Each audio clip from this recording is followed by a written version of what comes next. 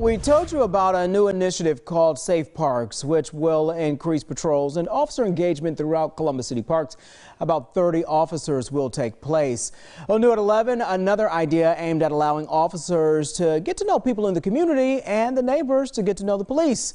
It's a party, four of them in fact. The first one is tomorrow afternoon.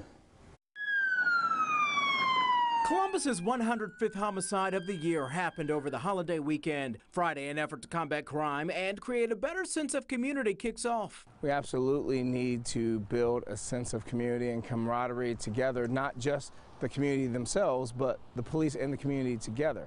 These block parties are important because they're going to be on all four sections of the city. Starting at the Linden Community Center, half of the parking lot will be transformed into a space with activities, resources, three-on-three basketball, a party with a purpose. So this is an old school block party. This is going to be an old school block party. So we have a DJ that's going to be present. Well, not only do we get a chance to engage our police officers, but we get to show off this new facility and everything that it offers. The $25 million community center opened in March. Our community centers and our parks are safe places, right?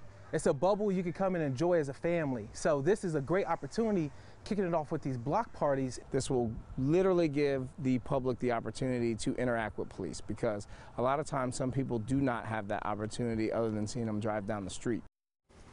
There will be games and prizes, resources for families through the WIC program, counselors available, and you can get a COVID-19 vaccine. Now, tomorrow's block party is from 4 until 7 at the Linden Community Center.